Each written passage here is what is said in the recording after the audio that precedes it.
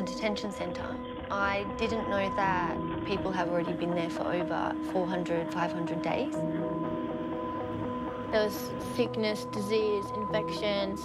It feels militarised. If you come to Australia illegally by boat, there is no way you will ever make Australia home.